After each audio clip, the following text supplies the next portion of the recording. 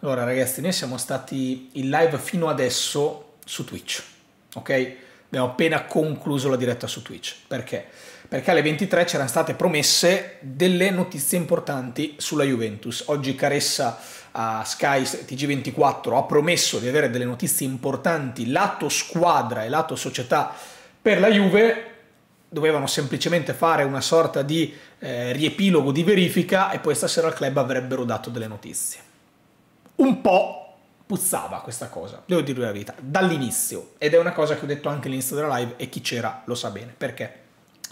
Perché se hai una notizia, solitamente, non aspetti del tempo in modo che poi gli altri possano andare a rubartela, tra virgolette. Te la verifichi a tempo di record e poi la butti fuori.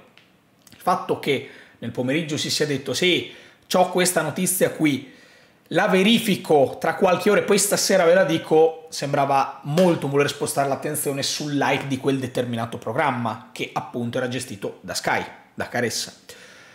Era anche molto sospetto che i vari professionisti dell'informazione, come magari Di Marzio, che lavora a Sky, o Fabrizio Romano, Romeo Agresti, La Gazzetta, con magari Fabiana Della Valle o Giovanni Albanese, che lavorano molto spesso su queste notizie qui, non avessero detto nulla, non ci fossero stati post tweet, annunci, niente, di niente, silenzio totale, silenzio tombale, gli unici che si erano mossi appunto erano quelli di Sky, era Caressa.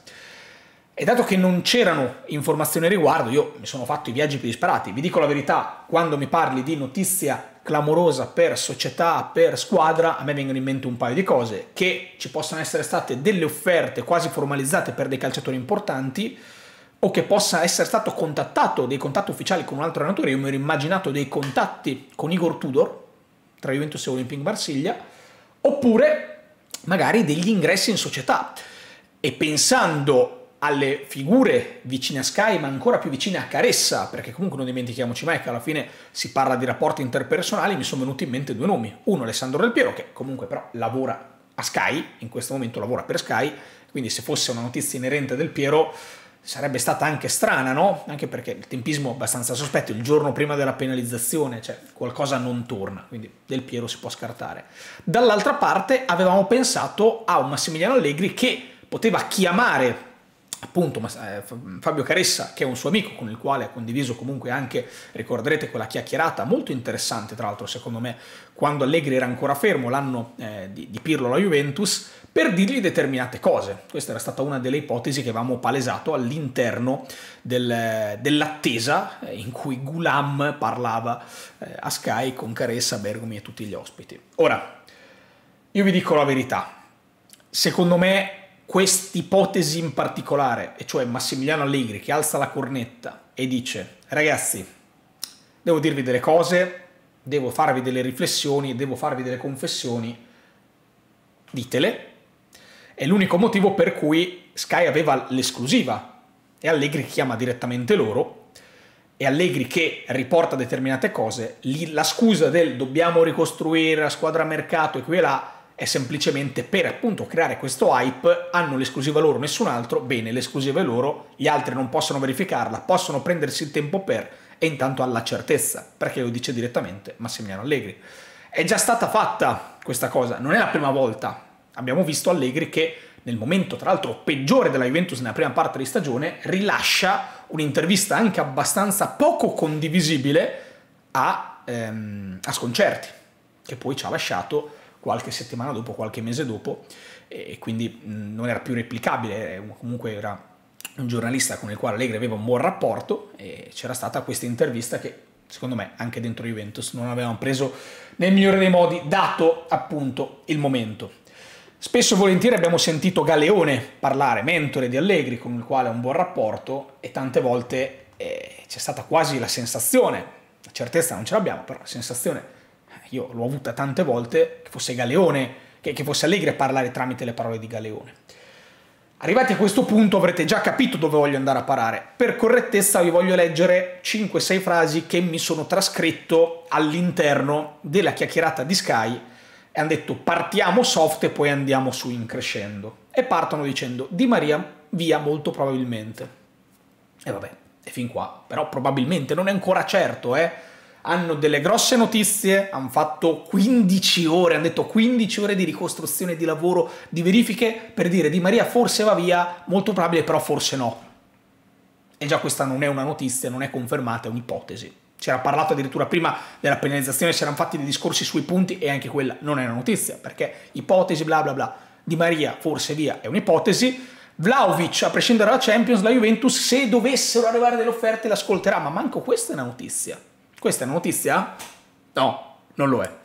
Poi arriva Caressa e dice, giunto la Juventus è oggi ridimensionato, ieri era certo, oggi non è più certo. E arriva Marchetti e dice, no dai, io non sono proprio come te, io dico che è solo sfumato. E quindi già anche tra di loro, dopo 15 ore di verifica, iniziano ad esserci de- dei battibecchi, iniziano ad esserci delle incongruenze, e quindi eh, uno che dice una cosa, uno che dice l'altra, in diretta, tutto questo in diretta.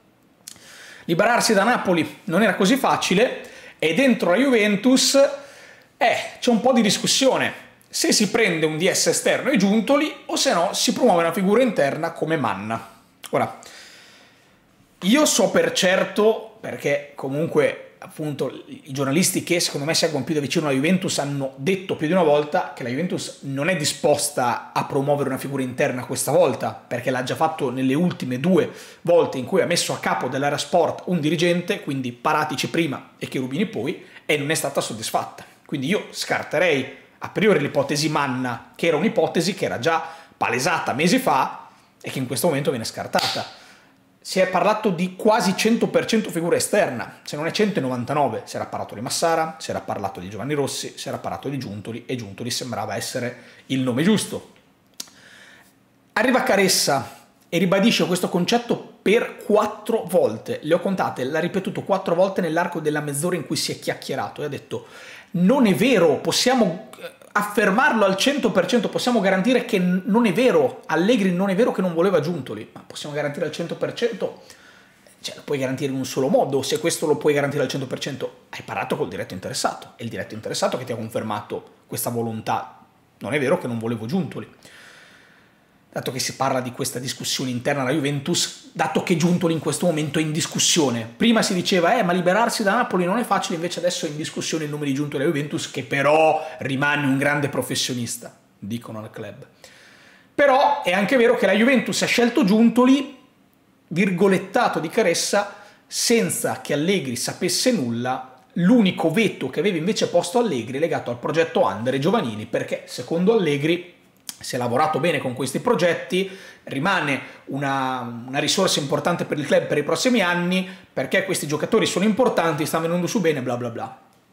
Sono tanto cose completamente scollegate, perché il fatto che arrivi Giuntoli, che cosa c'entra con l'Under 23? Cioè, già questo è qualcosa cui non c'è un nesso logico, non c'è, non esiste.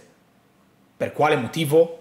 A meno che non si parli della figura di Manna, però l'arrivo di Giuntoli come direttore sportivo della prima squadra, cosa c'entra con le giovanili? Cosa c'entra col progetto Under?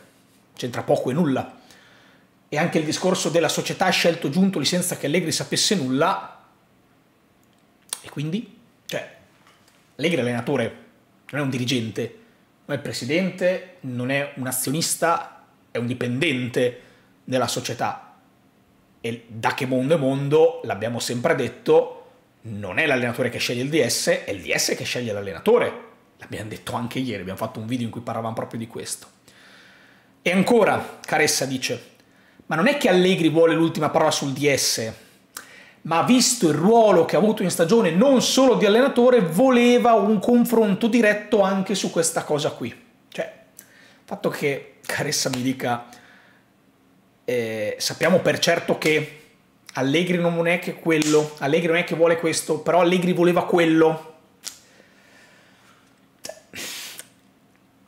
Io come faccio a pensare qualcosa di diverso da Massimiliano Allegri oggi ha preso in mano la cornetta, ha chiamato un amico e si è confidato esattamente come era venuto con sconcerti? Come faccio io a non pensare questo? Cioè, a me viene da pensare, adesso ci arriviamo, ci arriviamo, continuo dicendo, Giuntoli non è condiviso ai massimi livelli. La perplessità non è solo con Allegri, ma dentro la Juventus. Anche perché, dice Caressa, la Juve non sa da cosa deve ripartire, e però gli fanno notare che comunque in ogni caso la Juventus dovrà ripartire. Cioè, non è che se la Juve non sa da cosa ripartire non prende Giuntoli. Cioè, questa cosa non... è come quello di prima delle giovanili. Che, che cosa ci azzecca? Non si incastra. Non si incastra. E ancora concludono il discorso dopo aver ripetuto mille volte. Sì, però non è che Allegri non voleva Giuntoli. Sì, però Allegri il progetto Under 23. Sì, però la figura interna come Manna. Dicono, e poi se l'azienda prende la decisione con la quale non sei d'accordo, poi può succedere che ancora una volta, cioè, a me sembra talmente logico che si vada in quella direzione del sono Massimiliano Allegri, sono in una brutta posizione, sta arrivando Giuntoli, che molto probabilmente vorrà cambiare la guida tecnica della Juve nella prossima stagione. Allegri oggi ha parlato chiaro, ha detto io al 100% rimango qui se, se dipende da me. Se poi la società, e da un po' di tempo a questa parte lo sappiamo, Allegri sta eh, aprendo al fatto che alla fine dell'anno poi ci saranno dei confronti sarà società A. A me qua sembra tutto apparecchiato per un uomo interno alla Juventus, Massimiliano Allegri, che ha capito che il suo futuro non sarà la Juventus, che ha capito che arriverà un direttore sportivo che alla fine non è che gli piaccia proprio tanto, nonostante questo continua a ripetere, sì, però Allegri non è che non voleva Giuntoli, eh? E quindi a me viene da pensare che Giuntoli se non è al 100% a questo punto è al 99%, io mai come questa sera ho la sensazione che Giuntoli invece possa venire alla Juventus. Perché ancora torniamo sul discorso che sì, abbiamo una notizia incredibile, facciamo le verifiche, 15 ore di verifiche, poi eh sì, forse ha dei dubbi su Giuntoli, però non è detto che non ci vada, potrebbe andarci così come no. E prima il problema è liberarsi da Napoli, poi invece sono delle vicissitudini interne alla Juve perché non sanno se è quello giusto, non si sa da cosa si riparte. Cioè, la notizia che è andata oggi non è una notizia, perché hanno dato quattro notizie. Punti di penalizzazione che è un'ipotesi, Di Maria che potrebbe rinnovare come no che è un'ipotesi, Vlaovic che potrebbe essere ceduto come no che è un'ipotesi, e Giuntoli che potrebbe arrivare come no, vediamo. È un'ipotesi. 15 ore di verifiche per questo, allora cioè, 5 minuti potevi farlo, no? C'era bisogno di verificare niente. Niente. Perché queste notizie se le hanno solo loro? Quante volte è capitato che una singola notizia fosse arrivata a una sola fonte e basta se ci sta lavorando da 15 ore o anche se fossero state 4, 5, 6 cioè il mondo di oggi si muove molto velocemente com'è possibile che lo sappiano solo loro? com'è possibile che al 100% sappiamo che Allegri non è vero che non voleva Giuntoli? cioè queste cose ragazzi e poi il fatto che dicano sì, però poi se l'azienda fa, prende una decisione con la quale non sei d'accordo, sai, alla fine può succedere che, eh, può succedere che sì. A me sembra palese, poi io non ho eh, la, la, certezza, io non lo so come è andato, non ne ho idea, posso fare solamente una ricostruzione. La ricostruzione è molto semplice. Massimiliano Allegri sa che arriverà Giuntoli, Massimiliano Allegri sa che con Giuntoli non sarà lui l'allenatore della Juventus l'anno prossimo. Massimiliano Allegri ha chiamato un amico per fare in modo che si parlasse di questa cosa, si mettesse anche in giro il fatto che ci potessero essere dei dubbi interni alla Juventus sul nome dell'uomo che deciderà il nuovo progetto sportivo, che a quanto pare non è per la conferma in panchina di Massimiliano Allegri, e ha cercato di creare questo caos in questo momento aggiungendoci due castatine prima sui punti di penalizzazione di domani su Di Maria su Vlaovic, che sono robe che non stanno né in cielo né in terra, per cercare di creare questo teatrino. Ma ribadisco, non so se vi siete visti la diretta, se avete sentito la diretta con me, se vi siete visti il club in diretta, non ne ho idea. Però si respirava l'imbarazzo, eh. Cioè, addirittura gente che faceva le domande, a un certo punto Bergomi ha chiesto, sì, però chi è che sta avanzando questi dubbi dentro la Juventus su Giuntoli? Cressi ha iniziato a fare una supercazzo e alla fine ha detto sì, però dentro l'evento ci sono dei dubbi congiuntoli. E non ha risposto. C'era Marchetti che a guardarsi intorno, non sapeva cosa rispondere. Tutti gli ospiti continuavano a dire sì, però eh, qua ti mettiamo davvero in discussione Giuntoli e la risposta era sempre no, no, no, no, no, anche Allegri non avrebbe messo in discussione Giuntoli, non è vero che non lo voleva. Boh, ragazzi, chiamatemi complottista, non lo so. Sarò complottista, va bene, facciamo che sono complottista, però a me me sembra andare tutto in un'unica direzione e non sarebbe nemmeno la prima volta, perché ripeto, nel momento più difficile della stagione, proprio quest'anno, tra Monza e Maccabi Haifa, era venuta fuori la stessa cosa con un'intervista firmata da Massimiliano Allegri. e non era andata molto bene, perché non si era vinta nessuna delle due partite, proprio per discorsi con dei problemi comunicativi. Problemi comunicativi come la conferenza stampa di oggi dove parla di Scesni e io oggi ho visto un Allegri, un uomo veramente in difficoltà, veramente molto in difficoltà, con tutti i giornalisti che ormai gli stanno andando in quella direzione, sì ma il futuro, sì ma il futuro, sì ma il futuro, e in mezzo a una marea di giornalisti che in presa diretta davanti a lui con la sua faccia continuavano a fargli quella domanda, secondo me ha cercato supporto e conforto all'interno di un, eh, di un programma che aveva dei giornalisti amici per permettere poi di, di cercare di creare una sorta di, di controparte di questa marea.